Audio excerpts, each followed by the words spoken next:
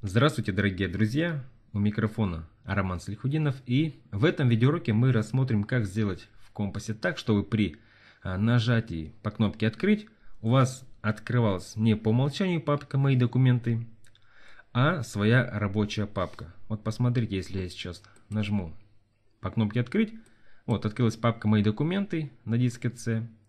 И а, чтобы мне найти нужный документ, мне придется здесь найти диск, на котором мои файлы расположены, ну и далее найти папку. То есть это очень а, долго по времени. И чтобы этим не заниматься, давайте рассмотрим, как сделать так, чтобы все время при нажатии по кнопке «Открыть» у вас открылась ваша рабочая папка. Итак, запустите компас и далее в главном меню давайте войдем в сервис. Выбираем здесь параметры. И вот на вкладке система давайте раскроем ветвь файлы и далее расположение. Вот посмотрите, файл компас ini отсутствует. Вот как раз этот файл нам и нужно с вами создать. А, что это за файл? Это текстовый файл, который а, содержит информацию о расположении файлов конфигурации и системных папок. Его создавать очень просто. То есть вот посмотрите, здесь есть кнопка «Создать». Вот, нужно на, на нее нажать. И посмотрите, уже файл создан. Вот нам Компас сообщат, что внесенные изменения будут а, применены в следующем сеансе работы системы. То есть, чтобы он а, вступил в силу, нужно а, перезапустить компас.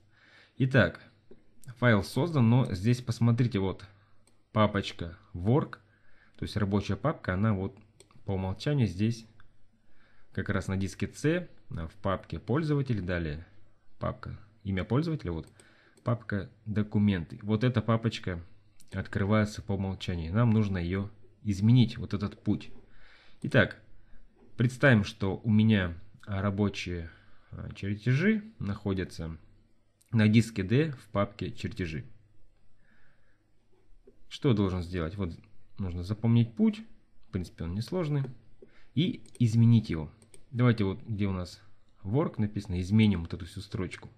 Во-первых, поменяем диск, у меня на диске D. Давайте меняем здесь диск.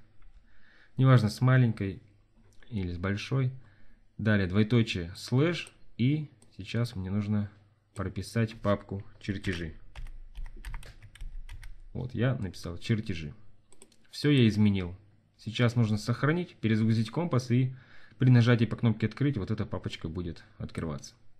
Если вы хотите изменить папку которая содержит временные файлы, то вот вам нужно изменить в верхней строчке вот этот путь.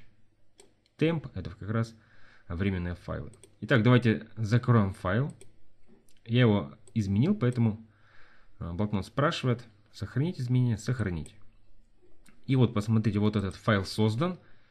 И здесь вот его указан путь, где он находится. Вы этот файл можете найти и куда-нибудь скопировать к себе, либо изменить по этому пути можно. Либо отредактировать его, вот также нажать по кнопке «Редактировать компас.ini». Итак, я нажимаю ОК. Все, мы этот файл создали.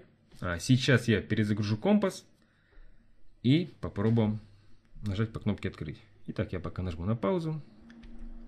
Итак, вот я перезагрузил компас. Сейчас нажимаю по кнопке «Открыть». И вы видите, что открылась папка чертежи на диске D,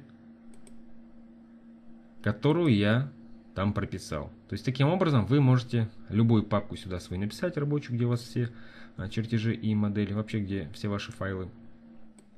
Вот и все время при нажатии по кнопке открыть будет открываться эта папка. И так вот можно любой чертеж открыть из той папочки.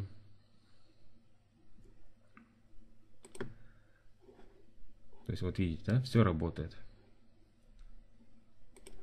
Ну что ж, на этом все.